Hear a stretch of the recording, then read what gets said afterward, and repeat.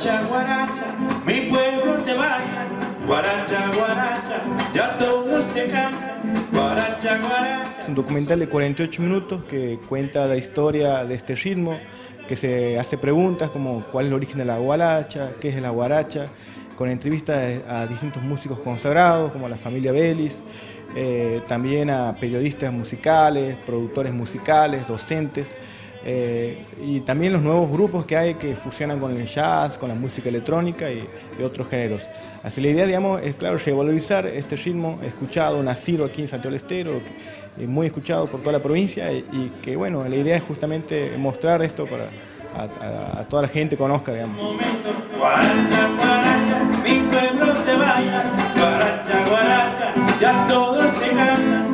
Fusión de la música colombiana con la música folclórica santeña, como la chacarera, digamos, eh, es, ahí donde hay un, punto de unión, digamos, que ha trascendido, digamos, todos los contextos, eh, eh, tanto como boliches, tanto lugares de barrio, bailes, todos se escuchan música guarachera.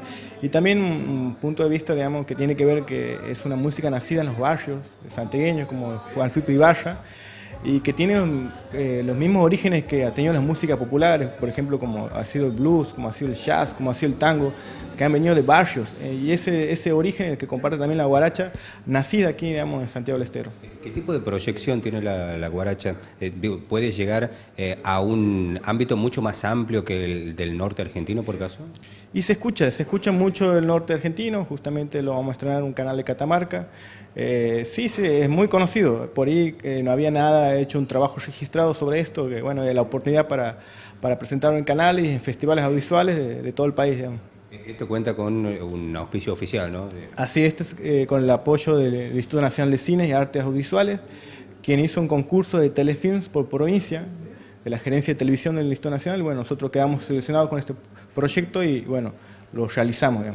Eh, contame cuándo se lo estrena y cuándo se lo podrá ver en Santiago del Estero especialmente. Sí, se lo estrena este viernes a las 22 horas eh, por Canal 7 TV Pública Catamarca, pero también se lo puede ver online por catamarcartv.com también el mismo horario a las 22 horas y después también estamos aquí en tratativas también para hacer una presentación aquí en Santiago, eh, más posiblemente en el espacio Inca de la ciudad de La Banda.